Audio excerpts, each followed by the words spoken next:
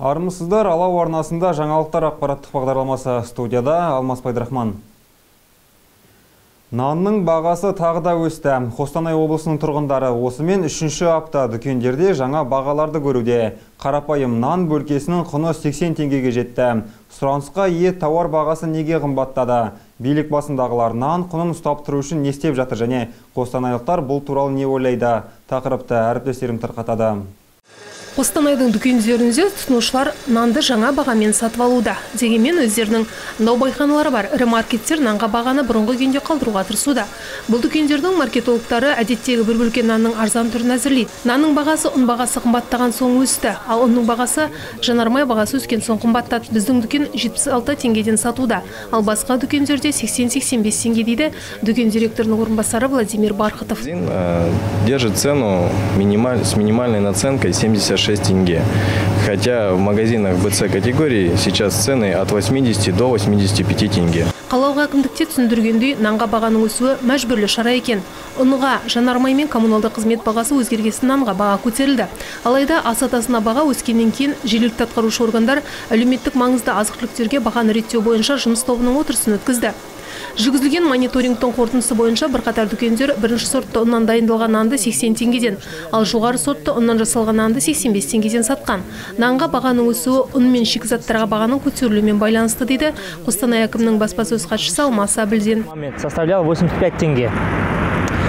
Рост цен на хлеб связан с увеличением стоимости муки и ростом цены на сырье, пшеницу, которые сказались на увеличение затрат, связанных с производством. облыс орталығының тұрғындары нан бағасына қалыпты қарайды. Басқа дүкендерде 80 теңгеден аламын ал мына жерде 76 теңгеден. Өз дүкенімізде 100 теңгеден. Біз нанның бір түрін ғана аламыз басқасына мән бермейміз. Мен әрдайым аштықсыз нан аламын маған ұнайды ол екі аптаға жетеді. Бұл жерде 85 теңгеден екен әдетте 90 теңгеден аламын. Мен нан сатып алмаймын әйелім алады. Баразен дүкенінде нанның бағасы 120 140 теңгеден әрине арзанырағы да бар. 70-80 теңгеден дейді тұрғындар. Шенеуніктер өз өнімдеріне бағаны көтереді. Жауапсыз наубайханалашыларға ескерту жасайды. Мұндай кәсіпкерлер туралы хаттар монополияға қарсы ведомствоға жіберілді.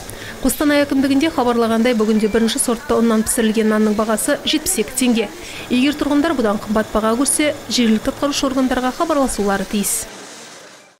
Биылғы жылы шамамен 2000 қостанайлық мемлекеттік ұйым мен кәсіпорындар энерго аудит үрдісін өтулер керек. Ол энергия және су ресурстары қалай шығындалатынын көрсетеді. Алайда шенеуніктерді мазалайтын ой бар.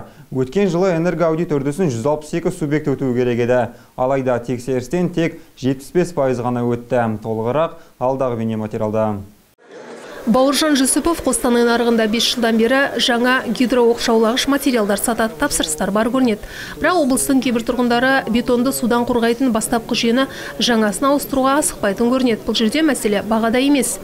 Тігістің жарамдылық мерзімі 12 жыл. Мына жгуттың метрі 100 теңгеден. Арнаулы герметикпен қапталған өзіндік құны 300 теңге.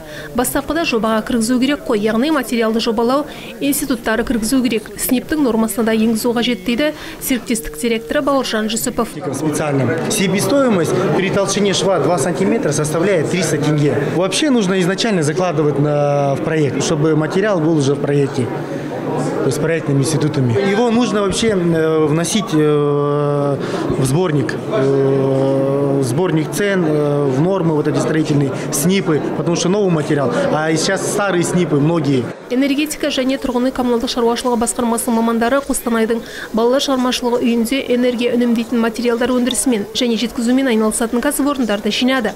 Қостанай облысында үш жылдан бері энергияны үнемдеу бойынша кешенді жоспар іске асырылуда. Осы уақыт аралығында жүз мекемеде термомодернизация жүргізілді. Бұдан басқа бюджеттік және қайтарымды қаражаттар есебінен 2 миллиард теңгеге 126 көпқабатты үй жөнделді. 300 жылу есептегіш құралы орнатылды. Алайда өткен жылы энергия аудиті тек субъектілердің 75 пайызы ғана жүргізген. Энергия үнемдеу жұмыстары түрлі деңгейде жүргізілуде. Жауапты тұлғалардың бұған ерекше көңіл бөлулерін сұраймыз. Өңірде атқарылған жұмыстарға талдау жасап өздерінің жұмыстарын түзетулерін қалаймыз дейді энергетика және тұрғын үй коммуналдық шаруашылығы басқармасының басшысы алмат есенбаев.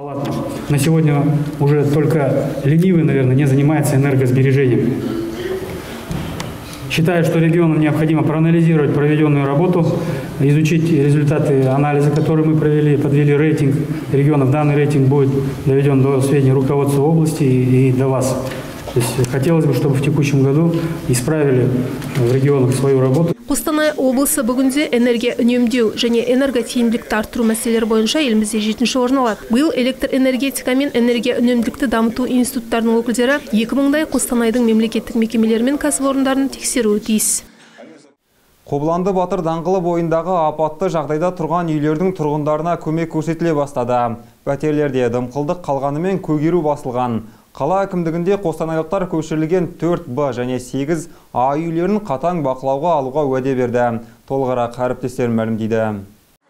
Қобыланды Батыр даңғылындағы мансард қабаттағы тұрғындардың мәселесі шешіле бастады. Еске салсақ, Алау редакциясына Қобыланды Батыр даңғылындағы 4Б және 8А үйінің тұрғындары хабарласты. Желтоқсанда апатты жатақханадан адамдар жаңа пәтерге көшкен. Бірақ олар жаңа пәтерге көше салысымен қиындықтарға тап болды. Көріп тұрсыздар, төбе ылғал, ас үй гарнитурына су ағып тұр. Ал қатты аязда мұз басады. Қабырғаларда сыз тартқан.